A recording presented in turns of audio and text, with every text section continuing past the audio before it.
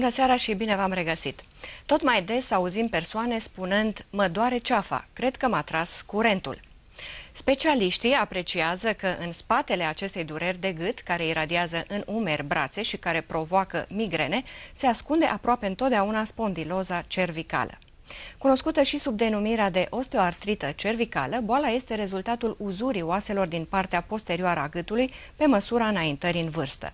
Pe lângă procesul degenerativ de la nivelul vertebrelor și discurilor intervertebrale, în funcție de stadiul bolii pot să apară și osteofitele sau ciocurile de papagal, care pot duce la creșterea presiunii exercitate asupra nervilor spinali și a măduvei.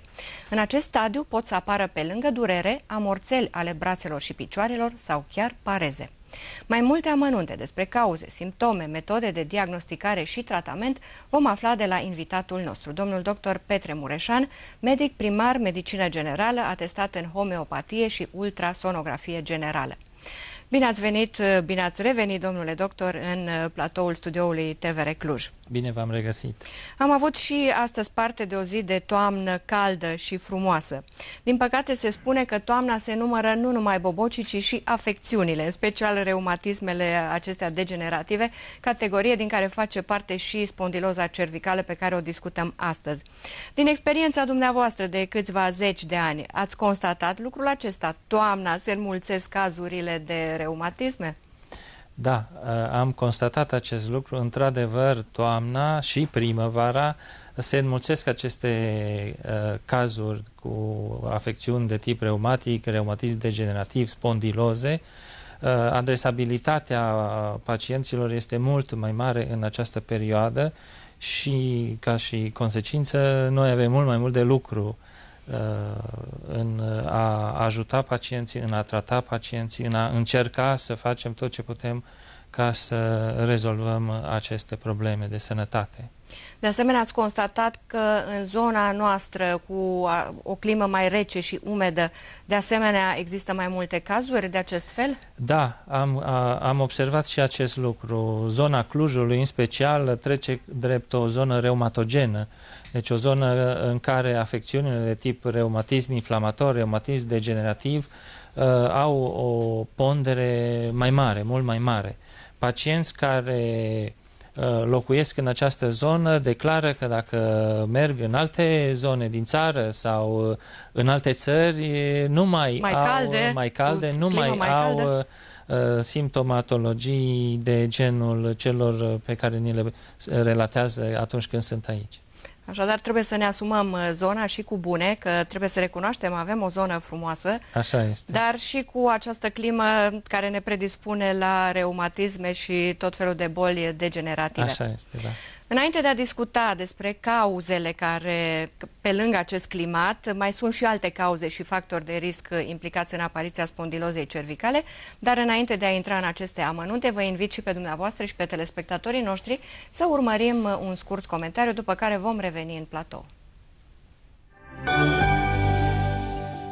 Spondiloza cervicală este o afecțiune degenerativă a coloanei vertebrale localizată în zona gâtului, la nivelul vertebrelor cervicale și a discurilor intervertebrale. Afecțiunea survine în general la persoanele cu vârstă înaintată, peste 45 de ani, și evoluează în timp. Statistic vorbind, această boală afectează ambele sexe în mod egal, dar apare la bărbați mai devreme decât la femei. Spondiloza cervicală are 5 stadii evolutive, care pot fi puse în evidență cu ajutorul metodelor imagistice, radiografie, ultrasonografie sau termografie. În stadiul 1 este prins un singur disc intervertebral și sunt iritați nervii de la acel nivel. În stadiul 2, miotonic, boala cuprinde un număr mai mare de discuri și vertebre. Sunt afectați și mușchii paravertebrali, iar durerea este mai extinsă. Când apar durerile de umăr, vorbim deja de stadiul 3, iritativ. Dacă boala nu este tratată, ea poate să evolueze spre stadiul 4, radicular, când apar acele depuneri de calciu, osteofite, cunoscute și sub numele de ciocuri de papagal. Acestea îngustează canalul rahidian, ceea ce duce la insuficiență circulatorie, astfel că apar dureri de cap, amețeli, vertij, sunete în ureche, probleme de auz, văz și memorie. În ultimul stadiu se agravează insuficiența circulatorie la nivelul creierului, existând riscul apariției accidentului vascular cerebral. După stabilirea diagnosticului și a stadiului în care se află boala, se trece la tratament, care cel mai adesea este o combinație de mai multe terapii. Pe lângă tratamentul medicamentos, fizioterapia, kinetoterapia, există și tratament homeopat. Medicina homeopată dispune de o gamă largă de remedii care se prescriu în funcție de fiecare caz în parte. În spondiloza cervicală se pot face și infiltrații cu remedii homeopate sub scanare termografică, ceea ce crește precizia și eficiența tratamentului. Aparatul cu lumină polarizată are efect antiinflamator și favorizează procesul de absorpție a remediilor homeopate. Masajul terapeutic și reflexoterapia completează cu succes tratamentul spondilozei cervicale, acționează împotriva durerii și ajută la întărirea musculaturii din zonele adiacente coloanei vertebrale. Așadar, haideți, domnule doctor, să le luăm pe rând și să continuăm cu cauzele și factorii de risc. Am spus de clima rece și umedă, dar nu este singurul nu este singurul uh, motiv, nu este singura cauză. Ar trebui menționate în șirul cauzelor, în primul rând, cred, o predispoziție genetică. Uh, din familie, de la părinți, se poate moșteni predispoziția uh, spre a face aceste boli degenerative. Pe acest fond genetic moștenit, dacă intervin cauze externe, cum ar fi așa cum am pomenit, modificările climatice, o climă care predispune spre așa ceva, uh, traumatisme, poziții vicioase, supra-solicitarea coloanei prin, în cadrul activității zilnice pe care o desfășoară fiecare persoană, atunci uh, coloana suferă, începe să intre în aceste procese uh, de tip degenerativ și în funcție de solicitările la care este soli, uh, supusă, uh, aceste boli pot avea o evoluție mai lentă sau mai uh, rapidă. Ce rol joacă sedentarismul sau obezitatea în uh, apariția bolilor o mare, O mare problemă uh, astăzi, în toate timpurile și mai ales astăzi, este obezitatea în apariția și dezvoltarea acestor boli degenerative și mai ales a bolilor degenerative localizate la nivelul coloanei uh, vertebrale, a spondilozei cervicale, spondilozei dorsale, spondilozei lombare. Deci, uh, kilogramele în plus este foarte ușor să ne dăm seama că exercită o presiune asupra coloanei vertebrale uh, și o supun la un efort suplimentar și de aceea structurile ei uh, la un moment dat nu mai rezistă și încep să cedeze. Uh, o persoană care are 10-20 de kilograme în plus se aseamănă cu o persoană care tot timpul ar căra un sac în spate. Ori dacă are deja prin Constituția ei uh, această greutate în plus uh, adăugată, uh, mai exercită și o muncă fizică grea care solicită și supra-solicită coloana, este ușor de înțeles cum aceste procese se, uh, se apar, se dezvoltă și se dezvoltă într-un ritm tot mai rapid.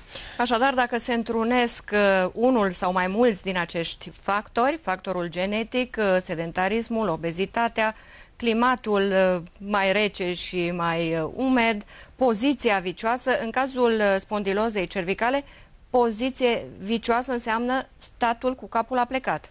Poziție vicioasă poate să însemne mai multe lucruri, începând de la copii încă de la grădiniță, după aceea uh, de la școală, statul, modul în care stau în bancă, pe scaun, acasă, cum dormim, uh, cum dormim ce fel de pernă folosim. Apropo de perne, există acum continua. tot felul de perne cu spumă, cu memorie, sunt bune sau cum ar trebui să arate această pernă? În cazul afecțiunilor coloanei, eu personal recomand o pernă cât mai subțire, deci cât mai simplă, cât mai subțire, uh, sau sunt situații în care e bine chiar să se doarmă fără pernă.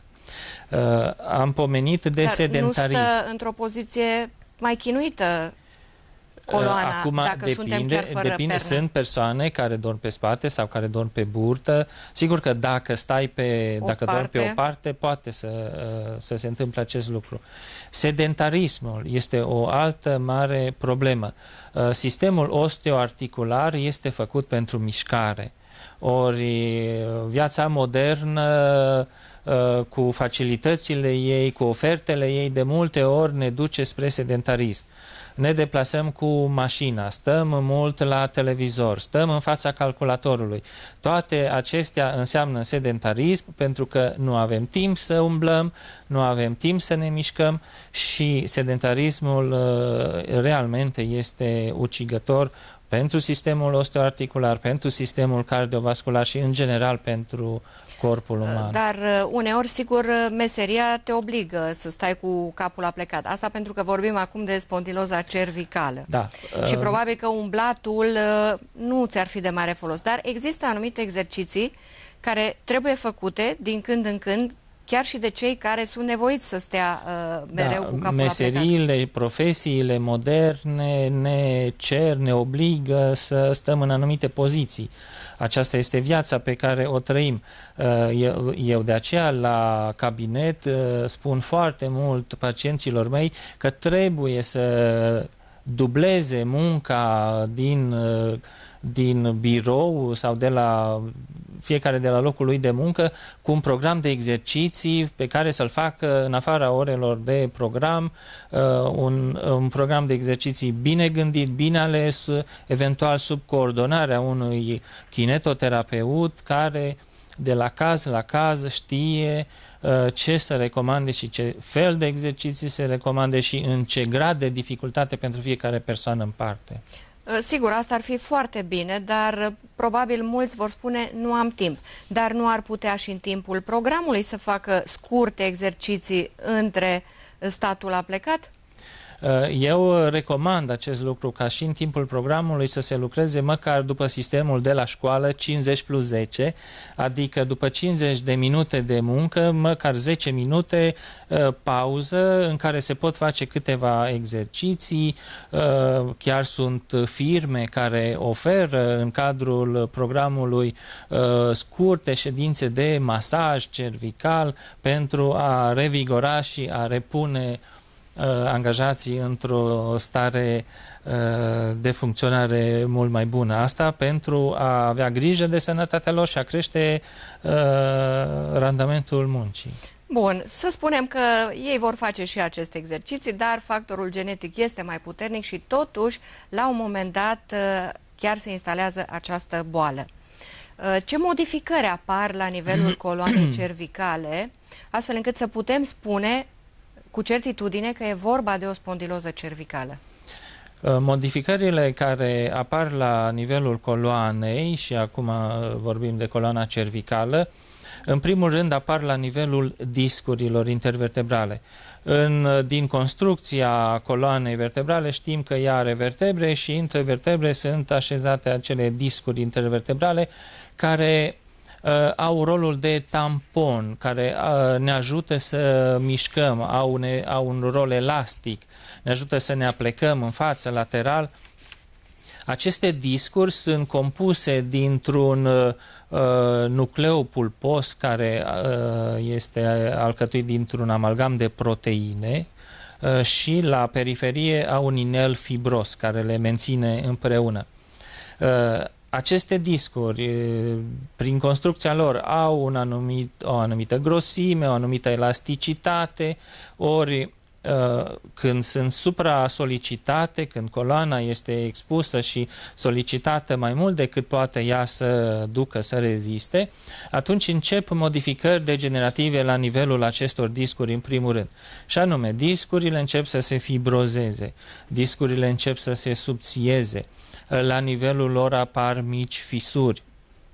Și aceste fisuri, cu timpul, dacă se adâncesc, dacă se uh, accentuează, pot să hernieze. Deci se poate produce hernia de disc. Deci, practic, vorbim de o hernie de disc, dar la nivel cervical. La nivel cervical. Uh, după cum hernia de disc poate fi localizată, sigur, mai rar și la nivel dorsal și de cele mai multe ori hernia de disc se localizează la nivel lombar. La nivel lombar.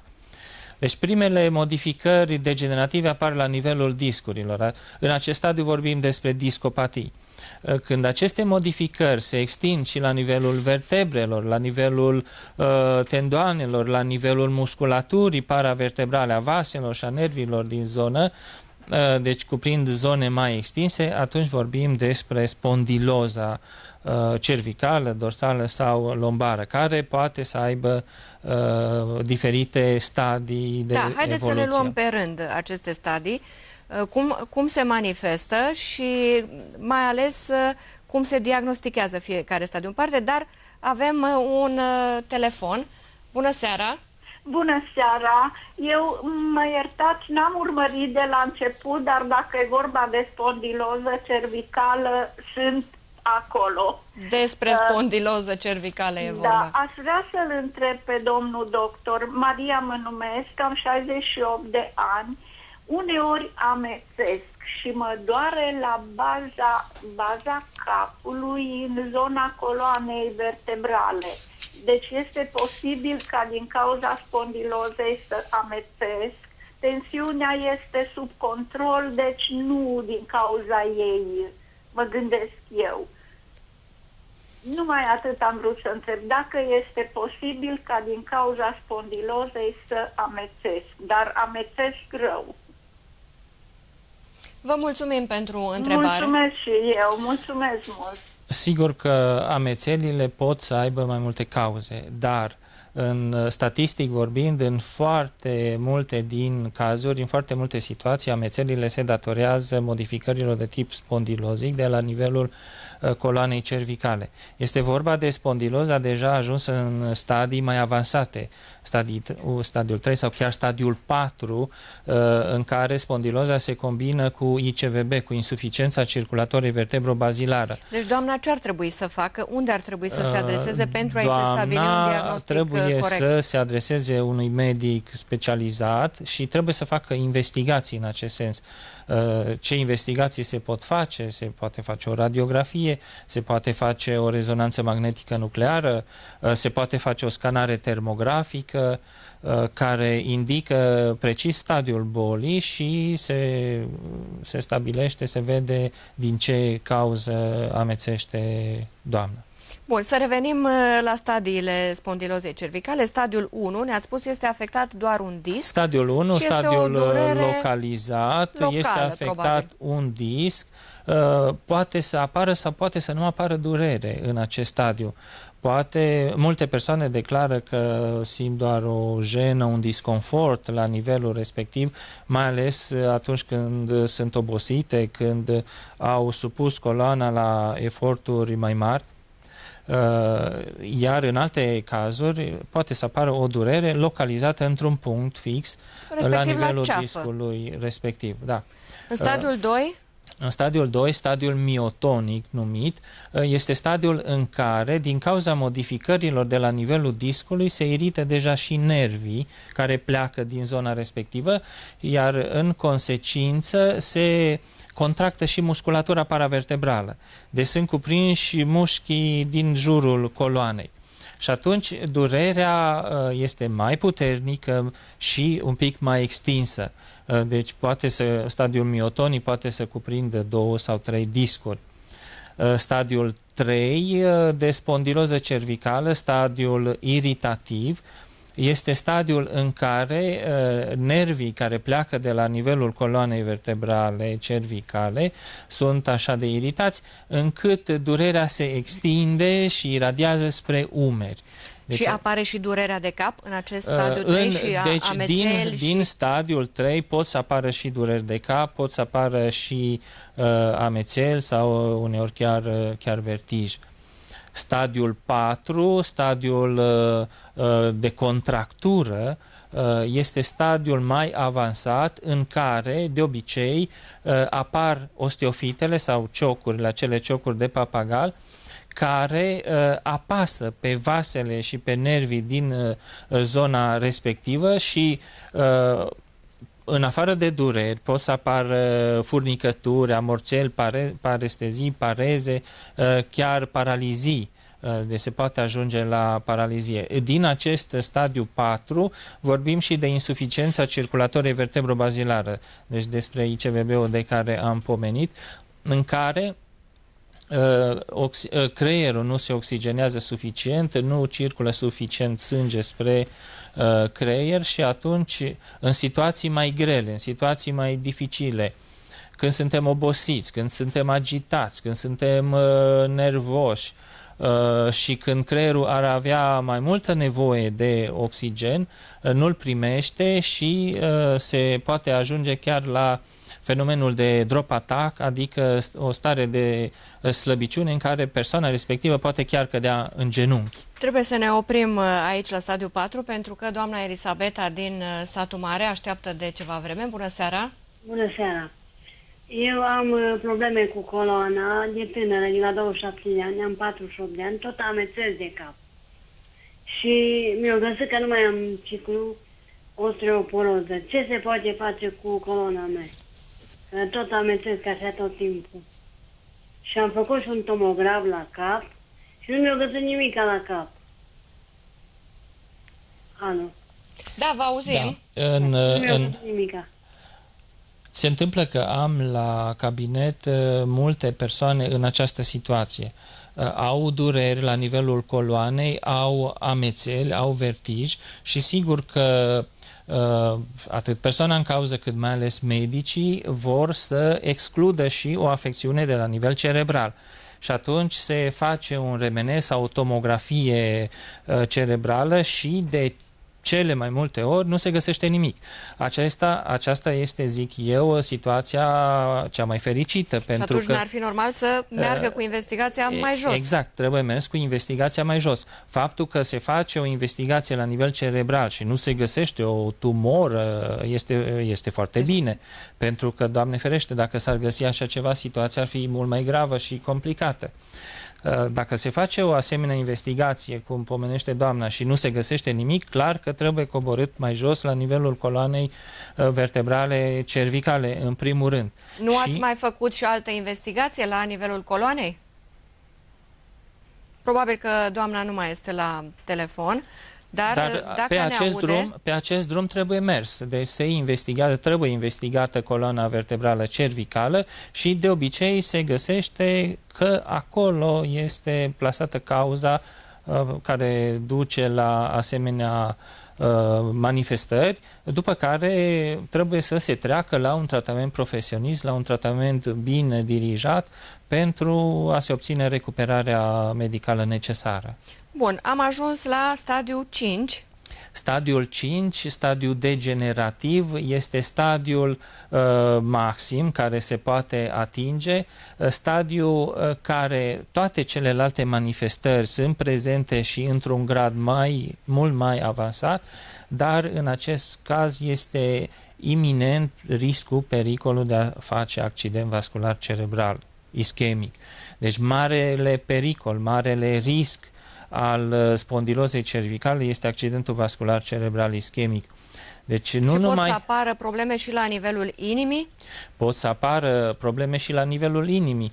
Coloana vertebrală cervicală este implicată în multe, uh, în funcționarea multor organe. În primul rând, de la nivel cerebral este controlată tensiunea arterială. Uh, atâtea persoane întâlnim astăzi cu tensiune oscilantă, cu tensiune, cu tensiune pe care foarte greu o poți controla, cu mai mică, cu mai mare, este cea mai periculoasă și uh, se încearcă tot felul de tratamente medicamentoase și este bine că se încearcă, dar se uită acest aspect că ar fi bine și ar fi necesar să se trateze coloana vertebrală cervicală pentru că de acolo pornesc niște comenzi, niște impulsuri care sunt foarte, foarte mult implicate în controlul tensiunii arteriale. Și tratând coloana cervicală se poate ajunge la un control foarte bun al tensiunii Am arteriale. Înțeles. Pe de altă parte, citeam că în cazul tinerilor uneori chiar se supralicitează acest diagnostic de spondiloză cervicală, pentru că nu orice durere de cap și amețeală care survine la o vârstă tânără poate fi pusă pe seama spondilozei cervicale? Acum, toate tratatele de medicină spun uh, și spuneau înainte că această boală apare la o vârstă mai înaintată. Uh, cum s-a menționat și aici în platou, de la 45 de ani, 50 de ani, uh, dar, uh, așa spuneau tratatele înainte, dar astăzi realitatea arată altceva, că aceste boli degenerative coboară ca și vârstă. Dacă înainte erau specifice unei vârste oarecare, astăzi întâlnim spondiloză la vârste mai tinere. Dar totuși, nu, așa cum am spus, nu trebuie supralicitat acest diagnostic și pentru orice durere de cap, pentru orice mică amețeală să se pună diagnosticul de spondiloză. Uh, pot fi stadiile premergătoare, cum am spus, o, o discopatie și aceea poate să producă uh, tulburări și să nu fie încă ajunsă chiar în stadiul de, de spondiloză.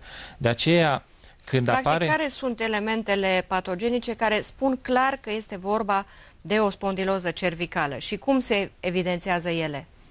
Uh, sunt elemente clinice, cum am vorbit, uh, durerea, contractura musculară paravertebrală, însoțită sau nu de torticolis, uh, amețelile, astea sunt elemente clinice. Dar, Dar astăzi, care apar și în alte nevralgii. Exact, exact. Și astăzi dispunem de, o, de un arsenal de investigații foarte mare și bun care vin și completează diagnosticul. Deci astăzi nu ne mai limităm numai la un diagnostic clinic ci mergem la investigații, cum am spus, se, poate, se începe cu o radiografie de multe ori, Uh, și care practic este pe radiografia aceea ce, ce se poate vedea? Se poate vedea uh, pe radiografie discului? Se pot, pe radiografie se pot vedea multe lucruri. În primul rând se poate vedea faptul că uh, coloana poate să fie curbată, deci putem avea o cifoză, o scolioză, o cifoscolioză. Care și uh, acestea dau asemenea și acestea, simptome? Și acestea pot da sau acestea pot duce, pot favoriza apariția spondilozei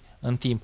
Deci una dintre cauzele uh, apariției spondilozii pot fi aceste uh, curburi, deviații, deviații ale, ale, ale coloanei obținute încă din tinerețe, din copilărie, care cu timpul duc și favorizează uh, apariția spondilozei. Iarăși vă opresc pentru că doamna Maria din Cluj este la telefon. Bună seara! Bună seara! Nu sunt inclus de la Margita, doamnă scumpă, din Bihor. E bine și de la Margita. Scumpă doamnă, am o problemă. Am făcut o radiologie săptămâna trecută și uh, rezultatul este acesta. Pe urmă vă spun întrebarea. Modificare de discarproză cervicală moderată inferioară pe fond de osteoporoză la nivelul coloanei lombare, corpul vertebral, vertebral L1 ușor pensat anterior, osteoporoză lombară accentuată cu punți intervertebrale îngustate uniformă a spațiului L5S1. Întrebarea mea este, doamnă scumpă, dacă aceasta se poate rezolva fără intervenție chirurgicală. Domnul doctor o să vă răspundă. Da, doamnă scumpă, vă rog. Modificările menționate de doamna intră în categoria modificărilor specifice spondilozelor care nu necesită intervenție chirurgicală. Deci uh, răspund uh, la tratamentele de recuperare medicală. Vorbeam înainte de uh, ce modificări se pot vedea pe radiografii. Păi se pot vedea exact ce a spus și doamna, pensări, deci îngustarea spațiului dintre vertebre, se pot vedea osteofitele, ciocurile, se pot vedea curburile coloanei, se pot vedea alunecări, uh, ale vertebrelor înainte sau lateral, așa numitele uh, listezis, deci alunecarea unei, unei uh, vertebre de la locul ei. Deci multe modificări se pot vedea pe o simplă Ce radiografie. Ce se poate vedea în plus pe un RMN?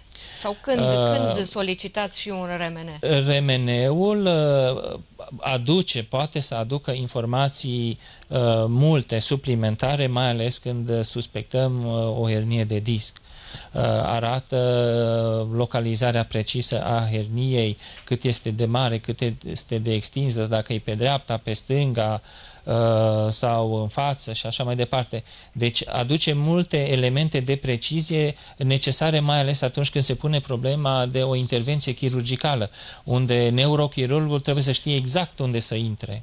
Așadar, ce puteți uh, spune doamnei? Că nu este nevoie nu de este, intervenție uh, chirurgicală? Din, din cât reiese din radiografie, nu este necesară o Ci? intervenție chirurgicală, ci un tratament de recuperare medicală.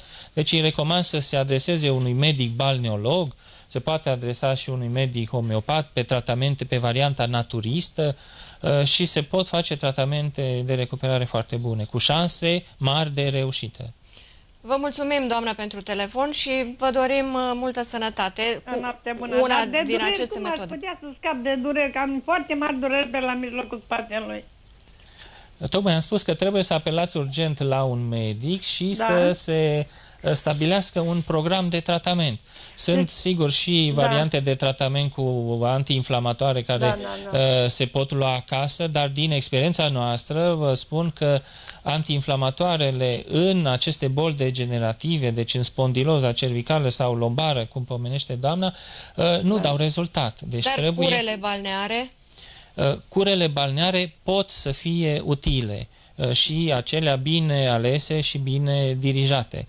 Uh, Depinde de, de stadiul bolii, deci trebuie De făcute, momentul în care este surprinsă trebuie să nu făcute fie într-o fază investigații acută. încă suplimentare și trebuie să se adreseze unui medic specialist.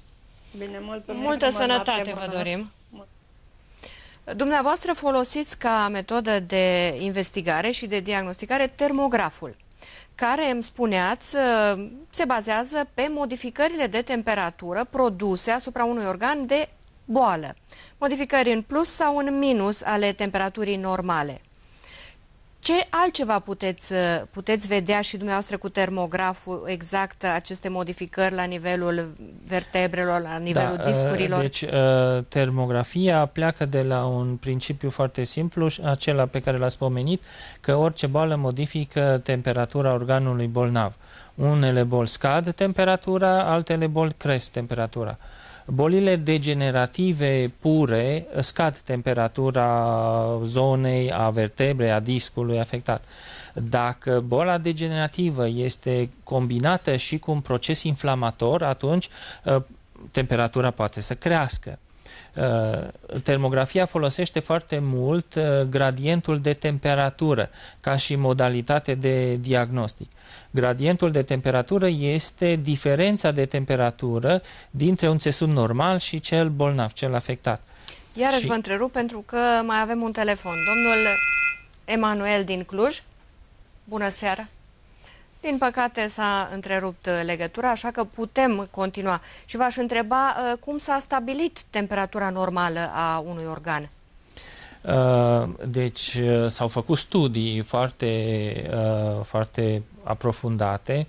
De obicei, când se, când se introduce în uh, investigații un nou aparat, uh, rezultatele obținute de aparatul respectiv sunt foarte mult comparate cu uh, rezultatele altor investigații care deja sunt, uh, sunt uh, știute, sunt cunoscute, sunt precise, sunt acceptate de lumea medicală.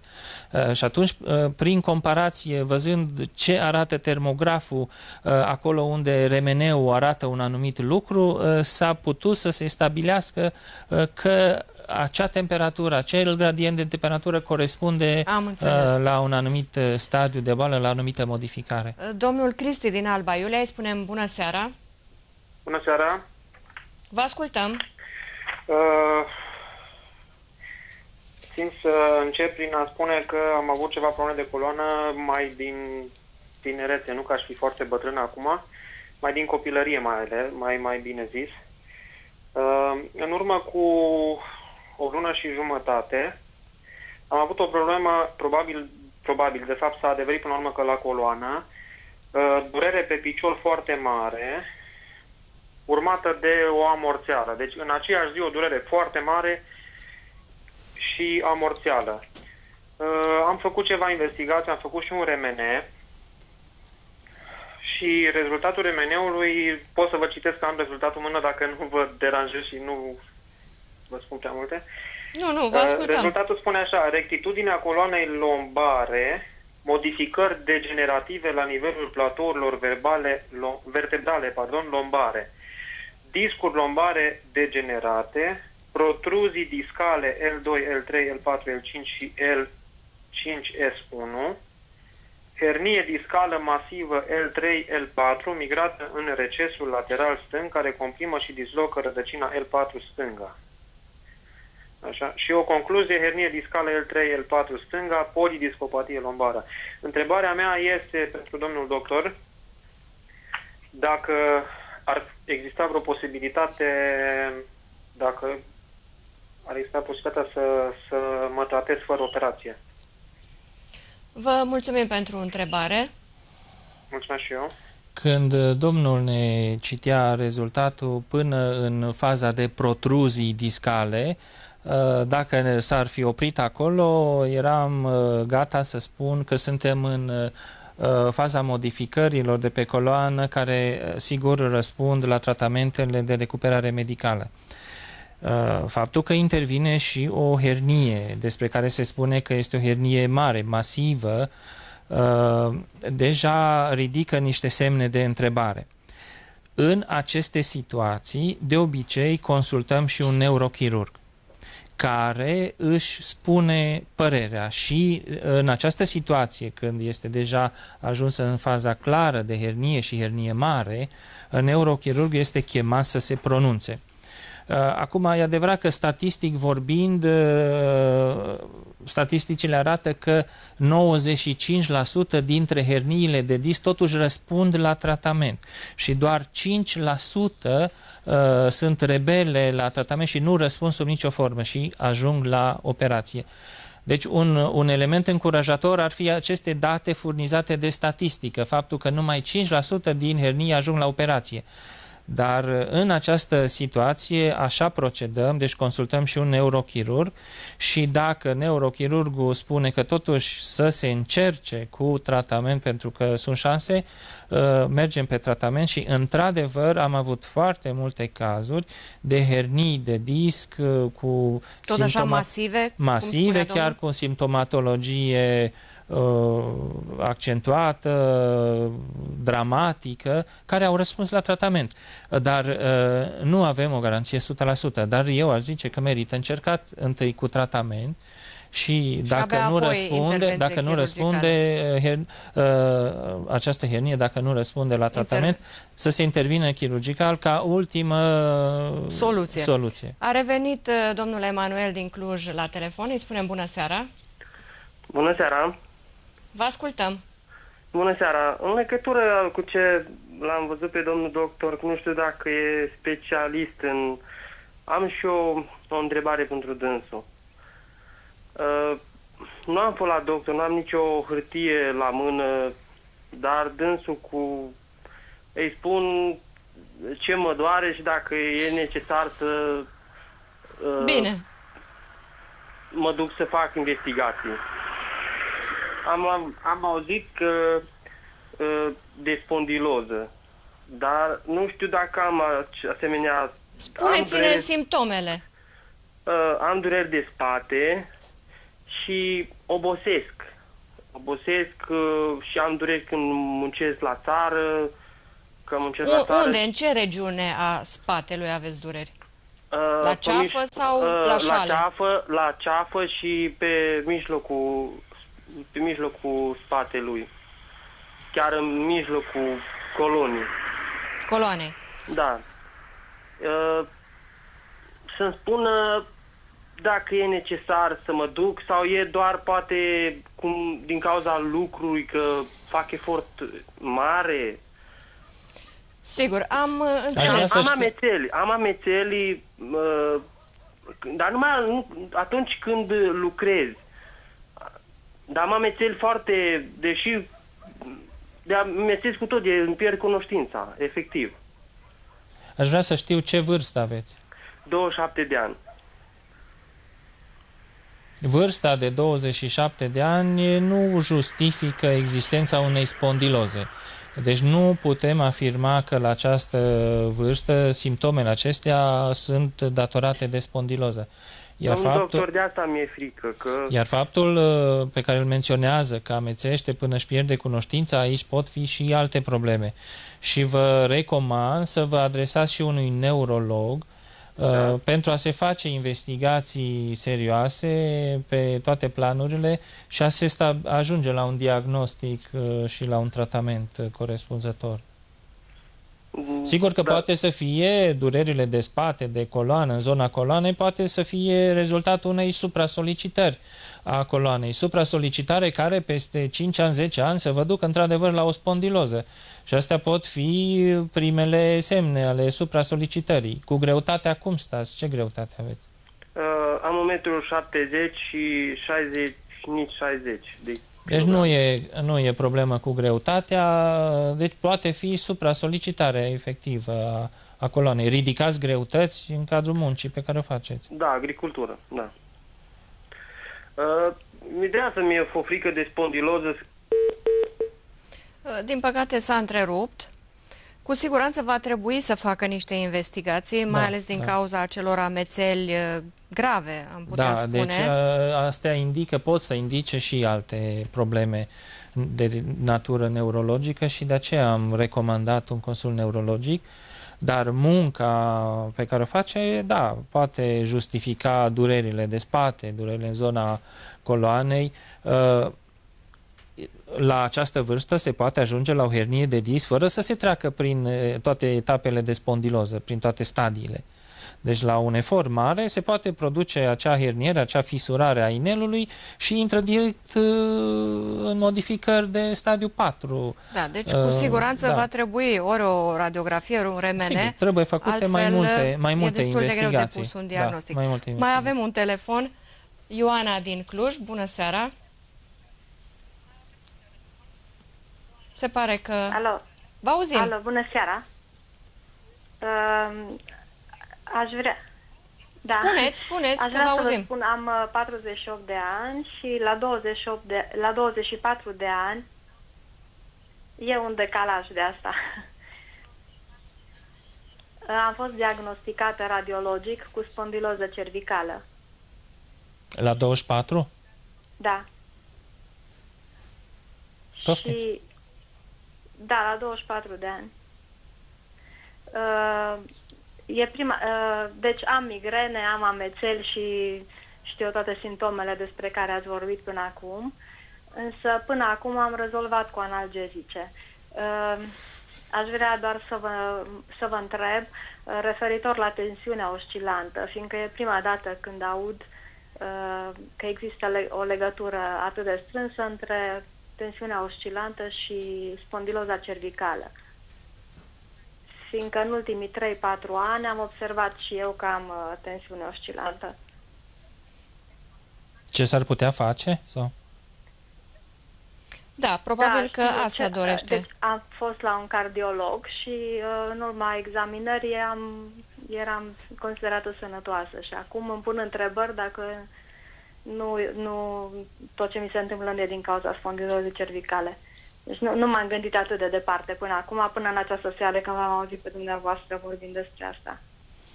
Da, faptul că s-a pus un diagnostic de spondiloză la 24 de ani, aparent uh, contrazice ceea ce am discutat, dar trebuie spus că uh, pot fi și spondiloze post-traumatice.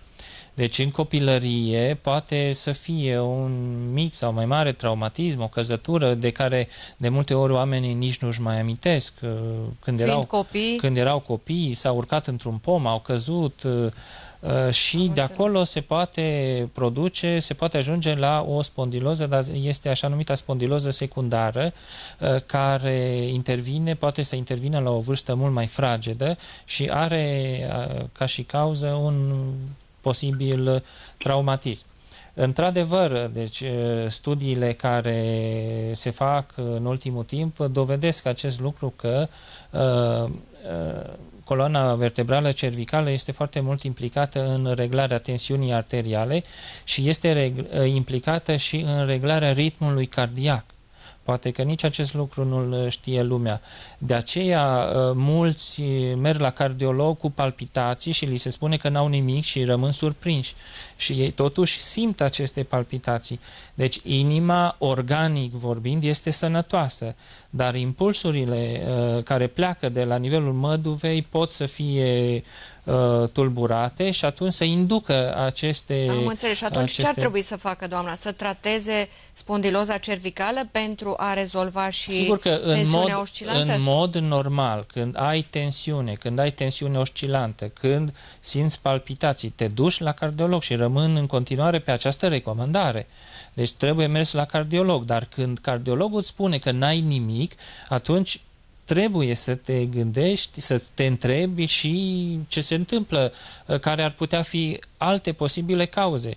Ori uh, una din cauzele mari și frecvent întâlnite e, sunt modificările de pe, de pe coloana vertebrală cervicală, care este implicată. Ați avut cazuri în care pacientul a venit cu simptomele doamnei și tratând spondiloza Da, s-a rezolvat și tensiunea? tratând, tratând spondiloza, uh, se rezolvă și tensiunea sau cel puțin este mult mai ușor controlabilă.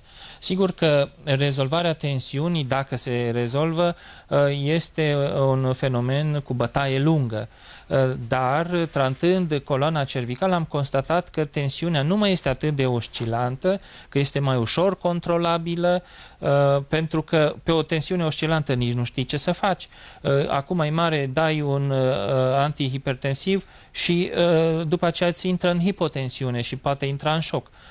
Am Deci este o situație foarte greu de, de gestionat, medical vorbind. Și de aceea recomand tuturor pacienților și uh, medicilor care uh, nu se ocupă în mod direct cu acest lucru să se gândească și la această variantă că ar putea fi implicată coloana vertebrală cervicală.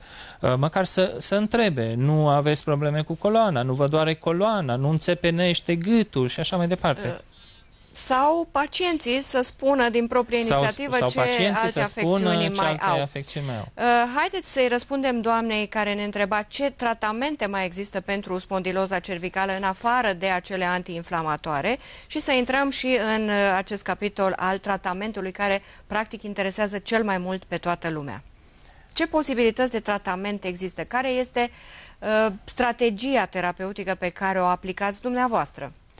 Da, este foarte important să poți să stabilești un diagnostic corect, pentru că de acolo pleacă și un tratament corect. Dar uh, nu este suficient să îi spui unui om uh, uite, ai uh, spondiloză cervicală în stadiu 4, eu îți doresc multă sănătate și îți recomand să te tratezi și îți doresc succes. Deci trebuie și să îi oferi variante uh, credibile, variante verificate, variante care, Așa este care și duc dumneavoastră la, chiar la, folosiți la variante rezultate. verificate și haideți să vorbim despre modul în care uh, tratați dumneavoastră cu succes uh, aceste afecțiuni ale coloanei. Da, uh, în centrul medical uh, pe care îl conduc uh, folosim uh, în special var- metode de tratament naturiste. Trebuie să vă opresc puțin și o să continuăm cu tratamentul pentru că domnul Ardelean din Zalău este la telefon. Bună seara! Alo, bună seara! Vă ascultăm! Bună seara! Vă auzim!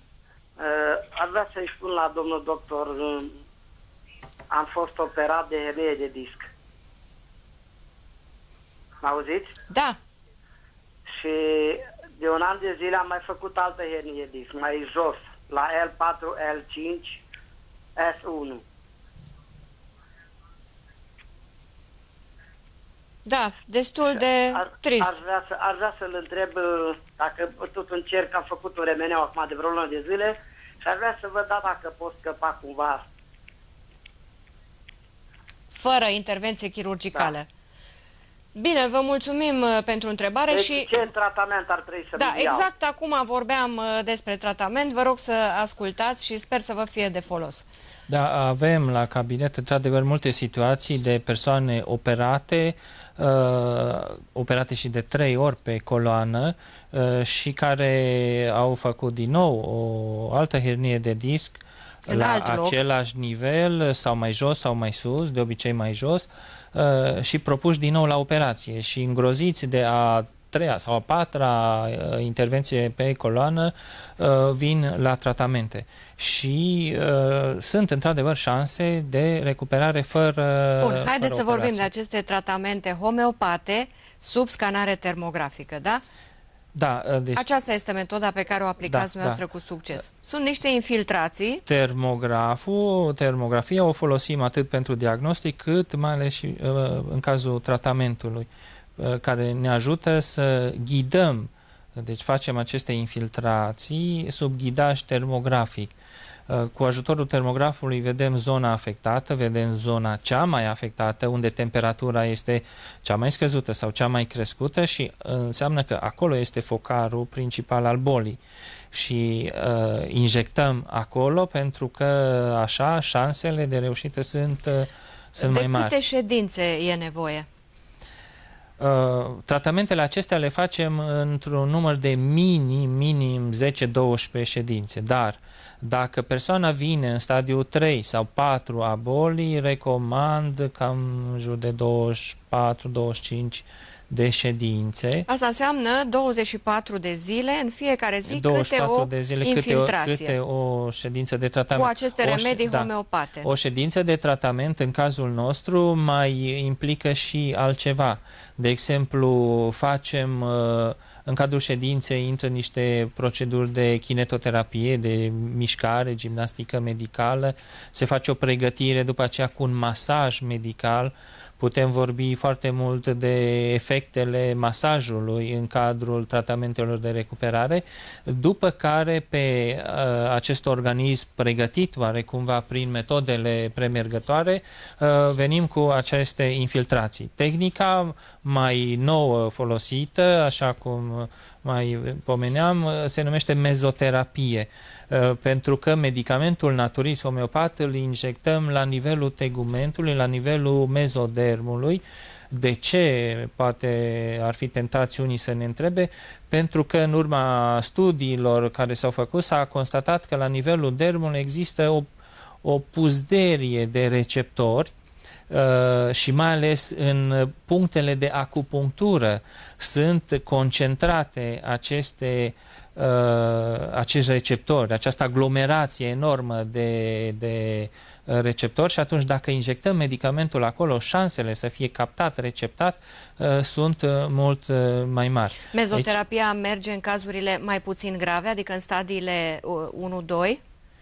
Um, af- aplicăm mezoterapia în toate stadiile și în stadiile avansate dă rezultate foarte bune. În sensul În- că dispare durerea, dar uh, există și fenomenul acela de regenerare de care îmi vorbeați. Există uh, fenomenul de regenerare pentru că uh, medicamentele acestea, formulele complexe homeopate folosite, au în ele uh, niște componente care uh, dirigează absorpția medicamentului spre zona de Cu interes, probleme. Am spre înțeles. zona cu probleme. Domnul uh, Mureșan uh, din Vultureni.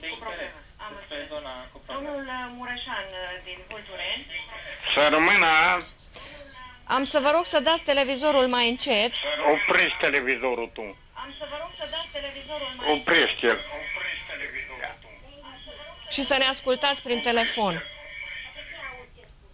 Na, e, doamna doctor. Nu sunt eu, cu doamna domnul doctor. doctor. Da. Eu am e, fost, e, mi-am rupt coloana.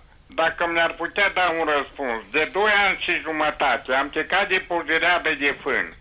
M-a operat la colonă, mi s-a vindecat. Domnul e foarte conștient, dar știți care e baiul? Când mă ridic în picioare, nu pot să stau în picioare că mi se îndoiesc genunchii. Ce se poate întâmpla? Ce să, să iau niște genunchiere ca să-mi poată ține picioarele, ca să nu mi se îndoie, ca să pot mișca ceva. Când mă ridic în picioare, nu pot sta. Unde a fost fractura? La ce nivel? Chiar acela după ceafă. Și m-a, vi- m-a tratat domnul doctor eh, Maiur. Dumnealui mi-a făcut operațiile. Am fost și la recuperare. Acolo nu mi-a putut, că n-am putut sta pe picioare. M-a dus acolo la... Mi-a făcut numai la mânuri, știți, pe gimnastică. Restul s-a vindecat, operația bine, nu mă dore, n-am nimic, dar când mă ridică pe picioare să stau, nu pot sta, mi se îndoie genunchii. Îndrumați-mă dumneavoastră ce ar putea să iau ceva genunchiere ca să-mi ție picioarele să nu mi se îndoie.